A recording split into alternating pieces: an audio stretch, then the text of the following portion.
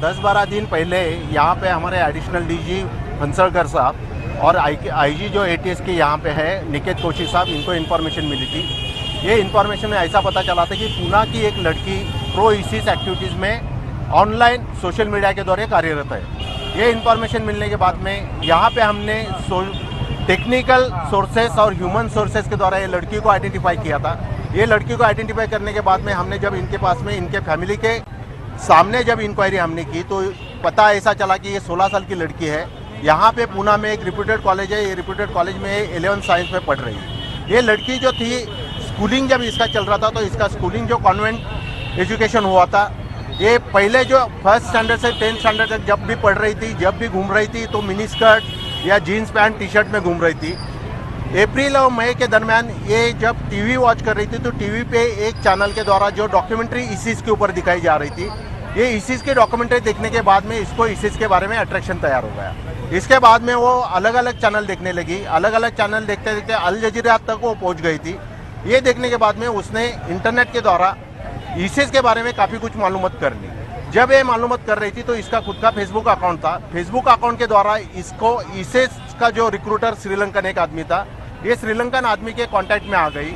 वो श्रीलंकन आदमी के द्वारा इसको जो इसिस प्रो इसिस के जो ग्रुप्स है, उसमें इनको इंक्लूड किया गया। इसके खुद के व्हाट्सअप अकाउंट है ट्विटर अकाउंट है, इसके अलावा उसका टेलीग्राम अकाउंट था और फेसबुक अकाउंट था।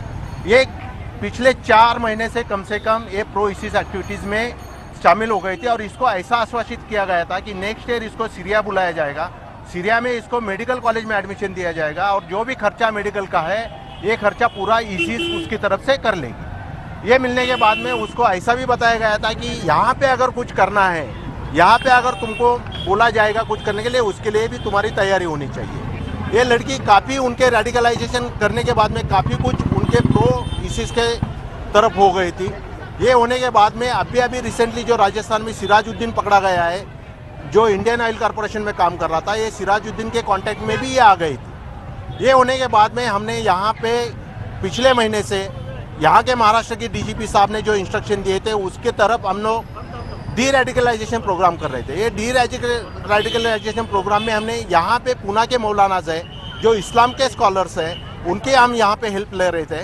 और अभी भी ये लड़की को हमने डी रेडिकलाइजेशन करने के लिए, उसके फैमिली के साथ में ये स्कॉलर्स और मौलानाज की हेल्प लेके, इसको यहाँ पे, यहाँ से बाहर निकालने की कोशिश हमने चालू कर दी है।